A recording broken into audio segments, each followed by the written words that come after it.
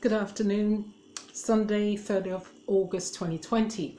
Just gone 12 midday.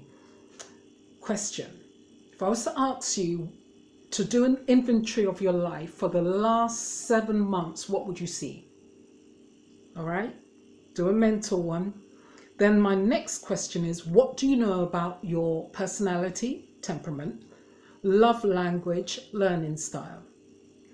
I ask that because it took the breakup of my marriage, the things that gave me identity, the things that made me feel good about myself, the list kind of goes on for me to realize these things are important.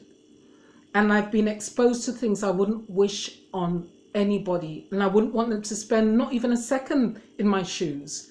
So, if sharing these three elements is important for you to know and prevent this happening to you, I'm sharing that. Know your personality, your temperament, your love language, and your learning style. Thanks for listening. This is Flo. Be blessed. Bye for now.